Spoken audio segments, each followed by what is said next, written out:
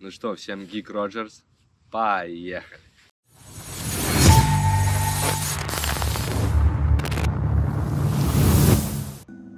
Для начала представлюсь, меня зовут Алекс, по-русски Алексей.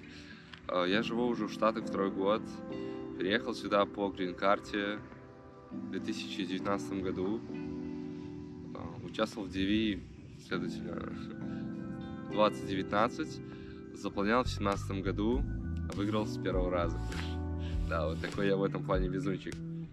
А, Я живу в городе Филадельфия. Это полтора часа от э, Нью-Йорка, штат Пенсильвания. Достаточно крупный город. Изначально у меня было два, два варианта, куда ехать. Это было Чикаго и Филадельфия. Но потом, пообщавшись там с одним человеком через 5-10 других знакомых, просто списавшись с ним в Фейсбуке, я понял, что, что Филадельфия это хорошее направление для того, чтобы туда ехать. М, точнее, уже сюда. Вот. Так как здесь достаточно большое русскоговорящее комьюнити, в принципе, привычный нам климат, 4 сезона, да, тут все это присутствует. Вот, возможно, где-то местами более мягче, где- где-то более, наоборот, более такие, скажем, пожестче климат, если это можно назвать так. Вот, ну, направление достаточно хорошее на старт, самое то для меня, для человека, который английский, в принципе, когда я сюда приехал, английский у меня был ну, максимально ломаный, но если что-то мне нужно было, я задавался этим вопросом, и я это делал. То есть, эм, ну, к примеру, какое-то собеседование прямо на английском я бы не прошел, как на работу, да, но, допустим, пообщавшись в магазине, что-то узнать, такое там, ну, э, максимально элементарно, это как бы было нормально. Далее, уже сейчас, по истечении двух лет, с этим уже получше. Есть очень много куда расти, но с этим получше. Я уже могу звонить, могу заводить какие-то small talks, как любят это делать американцы. Ам, По-русски это типа, такие, знаете, у нас там кто-то проходит, говорит типа привет, а американцы, они могут на кассе вам там целую устроить, целый как бы диалог там, чуть ли не на 5 там, минут, может даже больше. А, Поэтому конкретно в моем случае Филадельфия хорошее направление было, и в принципе я не пожалел, эм, что поехал именно сюда, так как я работаю в сфере те- телекоммуникационных вышек. И здесь эта сфера достаточно развита. В принципе, э, большая часть русскоговорящих компаний, которые базируются в северной части штатов, по северным штатам, они находятся именно в Филадельфии. Ну, большинство, реально большинство, и не исключение, что компания, в которой я работаю, она тоже находится в Филадельфии. Вот, поэтому тут сыграла совокупность факторов, что первое это русскоговорящий комьюнити, а второе это достаточно плюс-минус э, привычный нам климат, э, и третье это то, что хотя третье должно быть как первое, это работа, работу, которую я нашел, я ее нашел еще находясь а, в Беларуси, да, немножко еще оговорюсь, я из Беларуси, из города Минск, Э, так что вот. И я когда еще был в Беларуси, я уже связался с человеком через интернет, э, созвонился там, видео, э, аудиозвонок, созвонился, узнал за работу на вышках. Вот человек как раз требовался работник. Ну и, как говорится, плюс-минус я оказался в нужное время, в нужном месте. Вот. Поэтому я выбрал город Филадельфия. А что касается моего образа жизни, я бы сказал, что он достаточно активный.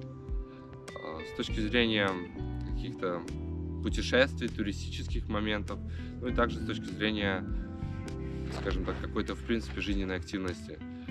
А, Могу поделиться небольшим фактом. За последний год, конкретно за 2020 год, я посетил более 30 штатов.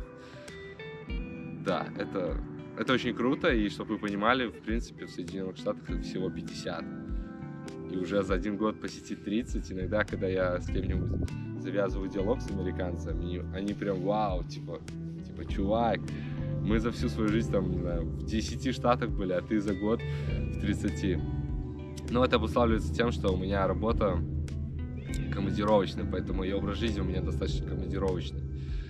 То есть за вот 20 год с условием пандемии и небольших, скажем так, перебоев, которые у нас были в работе, они были не очень большие. И исходя из моего образа жизни, я за прошлый год дома именно в Филадельфии был ну, где-то два с половиной-три месяца. Остальную часть, то есть там восемь с половиной-девять месяцев, я был именно в командировках. Поэтому это было круто, это было по-своему действительно интересно. А увидеть большое количество разных людей, разных акцентов услышать, также разных, в принципе, части каких-то а, жизненных позиций людей. То есть а, в некоторых столь отдаленных, скажем так, штатах, к примеру, там от Филадельфии, там самый э, западный, где я был, это был Техас, Техас, Вайоминг, вот эти штаты. Люди, видно, немножко отличаются, но это было интересно. А что касается первых ощущений, первые ощущения были просто непередаваемые, так как это Америка, конкретно это был аэропорт JFK, Нью-Йорк. Это было просто что-то, что можно даже не передать. Ты едешь, эти хайвеи. А, скажем так, первая достопримечательность, которую я увидел, Веризана Бридж, это мост Веризана. Это не сказал бы, чтобы какая-то достопримечательность, это просто достаточно такой красивый мост. Это не как Golden Gates в Сан-Франциско, ну, это, знаете, что-то такое, типа, неду, неду. Вот, поэтому это был такой мост, он достаточно сам по себе большой, вот примерно здесь вы увидите эту картинку, что он из себя представляет. Вот, это достаточно такое интересное место, и, в принципе, для меня вот эти вывески, которые все были, потом сам этот мост, хайвеи, постоянный поток машин, там, по 6, по 7, точнее, по 6, по 8 полос, то есть ты прям едешь и вау, как, ну, реально ты еще, первые ощущения, они достаточно розовые, то есть действительно эти розовые очки, они у каждого по-разному держатся, ну, у кого-то там пару дней, у кого-то пару недель, у кого-то пару лет. Да, но в принципе в моем случае это, наверное, было пару месяцев. Э, да, скажем таких. Ну, ощущения были очень крутые.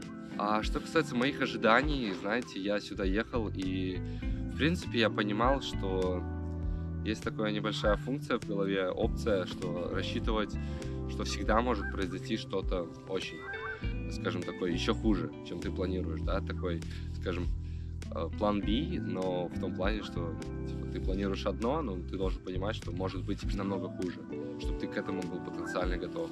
И здесь, в принципе, у меня не было таких максимально завышенных ожиданий, потому что я уже в свое время пересмотрел там всяких ребят с Ютуба, которые что-то говорят, и я уже в этом плане даже не рассчитывал. Поэтому вот этот порог ожидания реальности, он был достаточно минимальный, так как я, в принципе, понимал, что Америка это не страна, где на деревьях растут деньги. Здесь такого нет. И, ну, если кто-то думает, то это не так. Вот, поэтому достаточно были вещи, которые в каком-то плане поменялись, мнение к ним. К примеру, ну, в Штатах достаточно другие менталитет людей, он, в принципе, другой.